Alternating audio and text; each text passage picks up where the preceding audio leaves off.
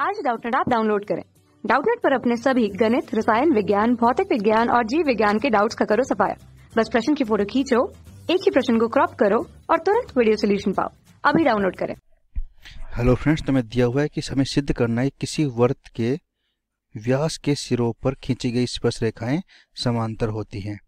तो सबसे पहले हम एक वर्त बना लेंगे। तो ये हो गया हमारा एक वर्त, जिसका ये, मान लिया ये हमारा हो गया ए बी इसका हो गया। व्यास, इसका केंद्र है हमारे पास ओ और मान लिया एक यहाँ पे कोई बिंदु है पी और इस पे है यहाँ कोई बिंदु क्यों?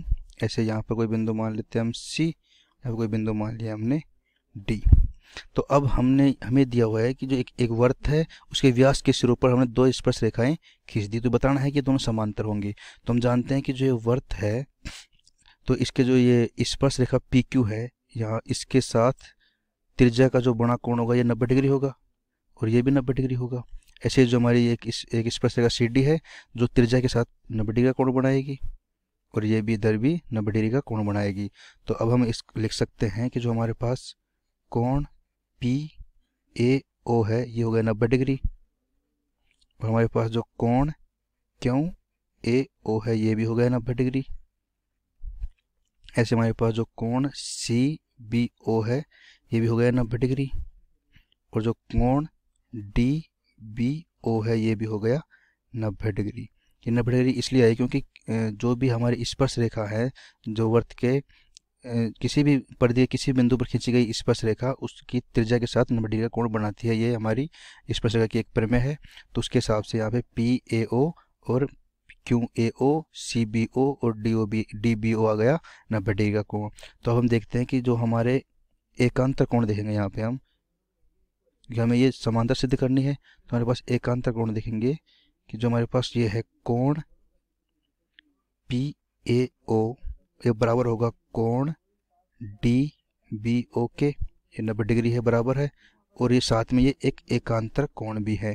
क्या है साथ में ये? एकांतर कोण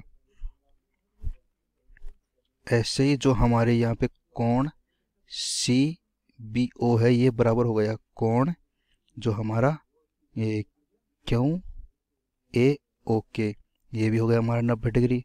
और साथ में ये ये भी क्या है? एकांतर कोण भी है। तो यानी कि हमारे जो ये ए, एकांतर कोण आए हैं ये बराबर आए हैं। तो यदि कोई भी दो रेखाएँ हैं जिनके एकांतर कोण बराबर है तो वो दोनों रेखाएँ समांतर होंगी, क्योंकि समांतर रेखाओं की परिभाषा होती है कि जो समांतर रेखाएँ होती है, उनके बीच में बना हुआ, और उनको कोई एक त्रिक रेखा काटती है तो बना हुआ एकांतर कोण बराबर होता है। तो यहाँ पर वही सिद्ध किया हमने कि जो इनके एकांतर कोण बने हुए हैं, ये बराबर है तो इसका मतलब क्या हुआ कि ये दोनों रेखाएँ समांतर हो गई। तो कौन कौन सी रेखा समांतर हो गई? P Q? ये समांतर हो गई हमारे पास सी डी रेखा के। यही हमको सिद्ध करना था। और ये हमारा हो गया सिद्ध। कक्षा छठी से बारहवीं से लेकर NEET I I T JEE वो एडवांस के लेवल तक। एक करोड़ से ज़्यादा छात्रों का भरोसा। आज ही डाउनलोड करें डाउट नेट ऐप या व्हाट्सअप करें अपने सारे डाउट्स आठ चार सौ चार सौ चार सौ पर।